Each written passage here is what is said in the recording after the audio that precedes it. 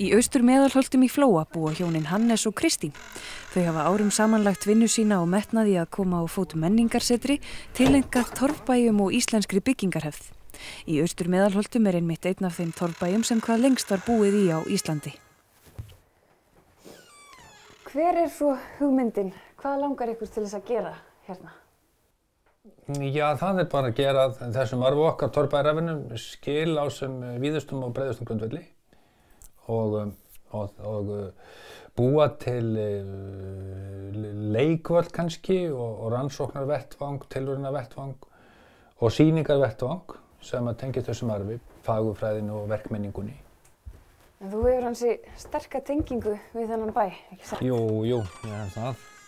Hér bjó ég sem sagt fyrstu nýju ár æðminnar á þessum bæ, austur meðalholtu og hér erum við stödd í hlóðeldúsinu Já. og uh, það var meira síðan notkun í mínu minni, svona upp úr 1960.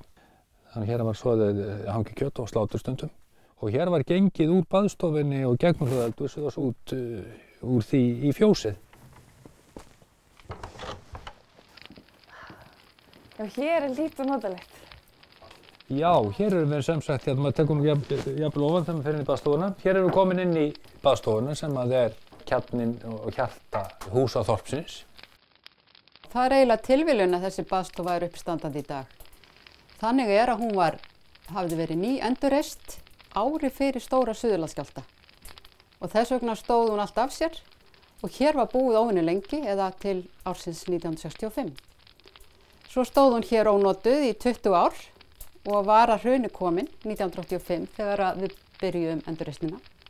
Og hver einasta spýta hérna inni, hún var mert, tekið niður, þvegin upp úr grænsópu og sett upp aftur á sama stað. Það má segja að það séu allar spýtur hér uppröðlegar nema þessar fái hérna sem eru aðeins ljósari. Mér langar að sína hérna mynd sem var tekinn síðasta veturinn sem að Hannes og Gunnar byggu í þessum bæ, síðustu ábúendunir. Hannes var þá 65 ára, fluttið til Reykjavíkur og þegar ég kem í fjölskylduna 1980 þá stendur hann fyrir kartiblurækt hér á hólnum. Og smátt og smátt þá var þessi baðstofa að falli komin og 85 þá var bara annarkvort að leifin að falla eða byrja endurist. Mm. Og það má eiginlega segja það að hún Ástís Lárisdóttir, móðir Hannesar, sem var kjördóttir Hannesar og Gunnu. Og þetta er tengdamóður því? Þetta er tengdamóður mín. Henni þótti svo vænt um þennan stað að það má eiginlega segja það að hún byrja ábyrð á enduristinni. Nú síðan er hérna, þetta er formóðurinn þannig. Já. Kristín Hannesdóttir, hún er semst móðir Hannesar, gamla bonda og hún bjó í þessu rúmi.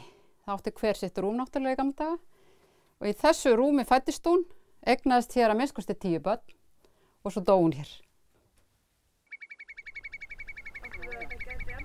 Hannes og Kristín áttu árum saman atkvarfi í austur meðalholtum á sumrin en hafa síðustu ár feikrað sér nærði að búa þar allan ársins ring. En nú styttist í að þau opni dyrnar fyrir gestum og gangandi þó enn séu eftir ófá handtök. Þetta er nú gamla fjárhúslaðan hérna Mm -hmm. og í henni verða sínd verkfæri, verkfæri sem tengja torfskurði og torfstungu af ýmsum, ýmsum gerðum og, og tegundum. Já. Og uh, ég held að sé svona, hér, hér eru torfljáir af ýmsum, ýmsum gerðum, stærðum og, og lengdum, pálar og svo framvegis, mjög mörgum gerðum er þessi, þessi gerð hérna sem er nú sjálft séð. Þú hefur verið að kenna torfskurði gegnum tíðin, ekki sér? Já, það hefur verið æðimörg námskeið hér í gegnum árin og ég sem ég telja þau hundruðum sem fari hér í gegn og, og stungi torf og skori torf og hlaðið úr gróti og svo framvegis. Á hlaðinu er ísinn bygging sem hýsa á bróðurpart síningarinnar. Þetta er vistvæn bygging, eins og langt og hægt er að, að komast held ég við íslenskar aðstæður og að, að mjög mörgu leiti tekið tillit til íslenska torfbæjarins bæði í útlitt og fyrirkomulægi og uh, aðferðum mikið af jarðvegi nota hlæðslum og slíku. Þannig að uh, það er bæði gammaldags og framstömmulegt í senn, held ég. Gólfið í síningarskálanum er skýrt dæmi um vistvæna nálgun og endurvinnslu. Það er búið til úr afgöngum af marmaraborplötum Íslendinga frá því í góðærinu. Hér er efni sem að var verið að henda, ótt að henda, bara í sjóin og við fengum að heyrða það. Og hérna verður sem sagt síningin hér í þessum húsakinnum. Já, þetta er svona megin umgjörðu síningarinnar og við erum nákvæmlega í því núna að vinna við að setja síninguna saman og hér verða mörg hundruð ef ekki þúsundir mynda og gagna sem tengist þessum arfi. Bæði litlar og stórar og, og módel og, og stafræn framsetning og hljóð og mynd sem sagt. Og má segja að þessu húsakinni verði alveg pökkuð af upplýsingum um íslenska torfbæðararfin. Baðstofan er þjóðarverðmætti og einn af höfuð djásnum íslenska menningar. Það er minn útgangspunktur. Eftir að menn hafa komið á þennan stað og séð hér alla síningar og húsin að þá held ég að menn gætu orðið sammála mér.